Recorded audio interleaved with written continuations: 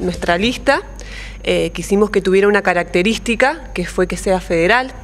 Casi todos los miembros de nuestra lista somos de un distrito. Yo personalmente vengo de Villatuel.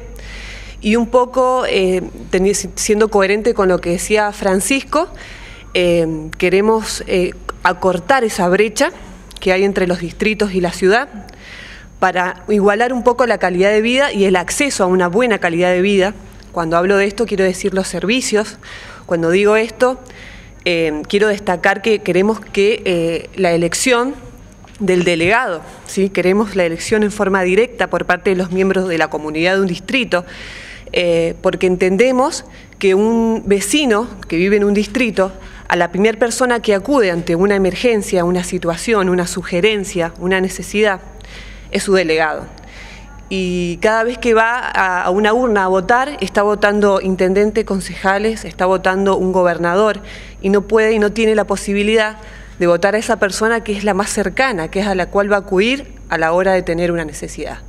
Eso eh, es un poco lo que más siento que necesitan, porque cada uno cuando lo habla con los vecinos, todos asienten con la cabeza y dicen, sí, lo necesitamos. Y sabemos que esto no es una novedad, sabemos que no somos los primeros que se nos ocurre eso, pero no se ha logrado hasta ahora.